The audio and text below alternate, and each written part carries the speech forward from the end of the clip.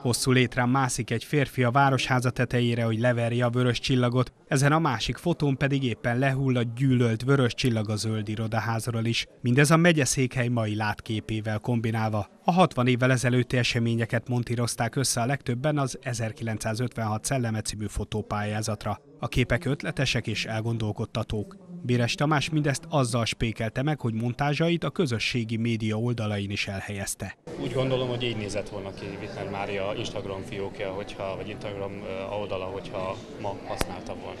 A Nyíregyházi Főiskola sajtóreferense azt mondja, a fotó készítése közben azon gondolkodott, hogyan is nézett volna ki 56, ha már akkoriban is lett volna Facebook vagy Instagram. Használtam a közösségi oldalakat, és próbáltam azokon elhelyezni ezeket a régi fotókat, kommentekkel, illetőleg kerestem olyan társművészeteket, vagy olyan nagy művészetek, hogy például Vazereli hogyan jeleníteni még ezeket a képeket, hogy egy kicsit a montás technikát, a, a fotótechnikát és a, és a társművészeteket próbáltam ötvözni. Bires Tamás képeit tartotta a zsűri a legjobbaknak, ugyanakkor a pályázatra érkezett összes alkotást kiállították a Móri Zsigmond megyei és városi könyvtárban.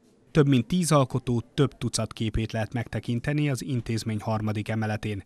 Csutkai Csaba, a szakmai zsűri egyik tagja azt mondja, azt kérték a pályázóktól, úgy idézzék meg az 56-os eseményeket, hogy azok a ma emberének is beszédesek legyenek. Ez volt ennek az egész pályázatnak a lényege, hogy mennyire tudjuk azonosítani a múltnak a helyszíneit, és mennyire olvad be ez a múlt helyszíne a jelenkorba. Az alkotóknak ez a feladat, amit meg kellett oldani, szerintem kiválóan sikerült. A forradalom és a szabadságharc 60. évfordulója előtt tisztelgő kiállítást ünnepélyes keretek között nyitották meg. Az önkormányzat részéről Bajnai Kornél képviselőtestületi tag mondott beszédet. A képeket nézve én tudom ajánlani minden nyíregyházinak, hogy jöjjön el nézze meg ezeket a fantasztikus képeket.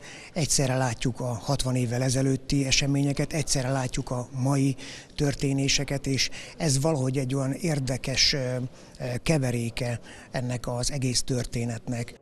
Az 56 szelleme fotókiállítás október végéig tekinthető meg a Móri Zsigmond megyei és városi könyvtár harmadik emeletén.